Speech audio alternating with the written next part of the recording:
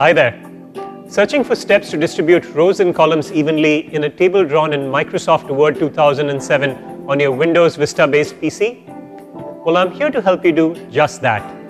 At iYogi, we attempt to ease the frustrations you experience with daily use technology. You have the liberty to draw a complex table containing cells of different heights of varying number of columns in a Word document. Also remember that if you wish to, you can distribute all the rows and columns evenly. So here's how you can distribute rows and columns evenly in a table drawn in Microsoft Word on your computer. Follow me. Open Microsoft Word. Click on the Insert tab. In the Tables group, click Table. Click Draw Table. The pointer changes to a pencil.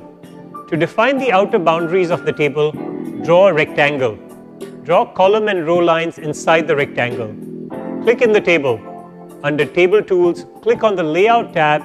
In the Cell Size group, click Distribute Rows and Distribute Columns.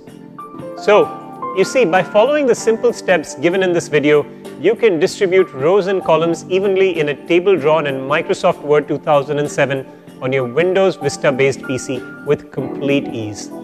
Don't you just love technology? At iYogi, we're on standby to help you get more out of your PC, along with its related software and programs.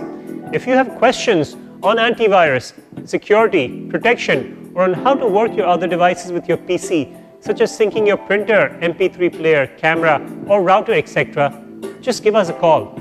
We'd be delighted to help. Go ahead, have fun with your PC. Good karma.